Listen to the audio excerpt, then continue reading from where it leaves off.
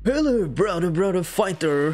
Jumpa lagi di video ini. Kita akan membahas tentang One Pride MMA Dan juga para fighter tentunya. Kita akan mengulas pertandingan hasil dari pertandingan Night 44 Yaitu yang berlangsung hari Sabtu 3 April 2021 Antara Parli Tunina melawan Jajak Sukarja. Ini pertandingan seru nih. Kedua-duanya memiliki kemampuan striking, pukulan, dan tendangan yang luar biasa. Nah kita ulas di video ini.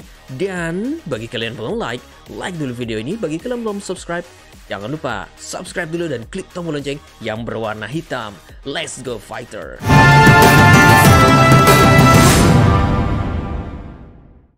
Oke, okay, brother-brother fighter, kita melihat di awal-awal pertandingan di sudut biru ada Jajak Sukarjak yang berada di ranking 19. Terlihat bersiap dan sangat calm di pertandingan kali ini, sangat tenang untuk menghadapi pertandingan melawan Parli Tunena. Dan di sudut merah ada Parli Tunina yang terlihat sangat siap untuk menghadapi dan mengalahkan Jajak Sukarja. Nah, Parli Tunina berada di posisi 10. Ini merupakan jarak ranking yang sangat jauh uh, antara 19 dan 10, tapi tentunya tidak bisa diremehkan antara ranking-ranking di bawah ranking 15 memiliki kemampuan dan kapasitas dapat bertarung melawan 10 besar dari ranking di kelas ini. Wasit di sini ada Junaidi Simbolon yang memimpin pertandingan ini dan tentunya saja mereka sudah bersiap di ronde pertama. Kedua-duanya langsung merangsek menyiapkan kuda-kuda untuk menyerang. Nah, di pertandingan kali ini mereka masih menjajal siapa dulu yang akan menyerang. Dan akhirnya diserang oleh Parli Tunena dengan spinning kicknya.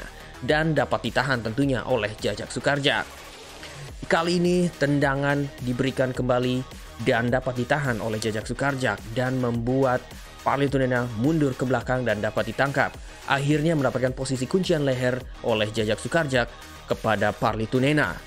Kali ini hampir sekali dibanting oleh Parli Tunena karena memang khas kemampuan khasnya dari Parli Tunena yaitu body slam dan juga bantingan karena dia dapat mengangkat beban yang sangat berat. Lawan-lawannya bisa di body slam dan bahkan pernah mengalahkan lawannya dengan sekali body slam.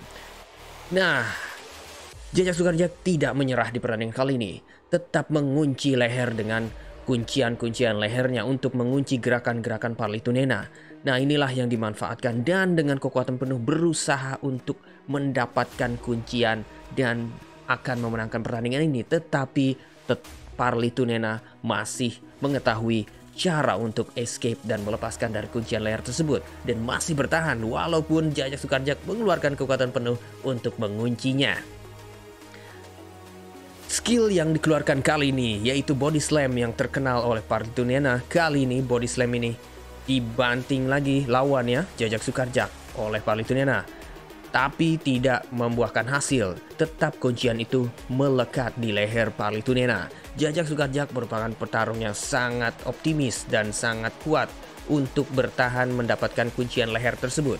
Tetapi terlihat kesulitan Palitunena tapi dapat bertahan. Ini ini kuncian ini berlangsung hampir berlangsung beberapa menit nih karena memang kuncian lama ini tetapi Parli Indonesia masih bertahan dan sangat kuat untuk mencari celah bagaimana dapat lepas dari kuncian leher dari Jajak Sukarjak. Ini luar biasa ini Parli Tunena nih. Kemudian dibanting lagi, keluarkan body slam lagi, tetapi tidak jadi karena Jajak Sukarjak mengetahui dia akan di body slam, tapi kakinya menapak, kemudian berhasil membawa Jajak Sukarjak berdiri agar bertarung secara stand up agar dapat terlepas dari kuncian tersebut.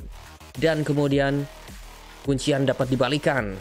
Dan kuncian dapat dibalikan kemudian posisi Jajak Sukarjak terjepit di mana kuncian leher didapatkan oleh Parlitunena di sini. Dan inilah yang mempengaruhi kemenangan Parlitunena di pertandingan kali ini yaitu knee-nya ke arah perut. Nah, knee yang keras ke arah perut ini membuat Jajak Sukarjak tersungkur jatuh, kesakitan dan akhirnya dapat dimenangkan pertandingan ini oleh Parley Tunena. Ini luar biasa ini pertandingan 3 menit sebelum habis di ronde-ronde pertama. Ini merupakan pertandingan yang lumayan singkat dan memang Parley Tunena juga pernah memenangkan pertandingan secara cepat apalagi dengan menggunakan body slam.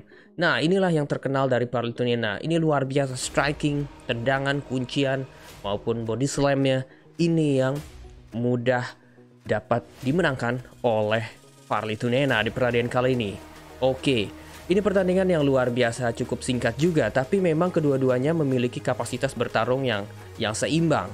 Tapi karena memang strategi bertarung yang dikeluarkan oleh atau game plan yang dimainkan oleh Jajak Sukarjak tidak bisa mematahkan serangan-serangan dari Parli Tunena.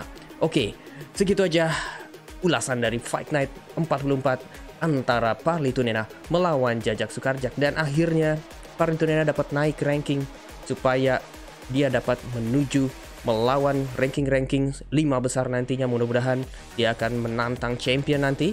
Nah, seperti apa? Oke, tulis di komen ya.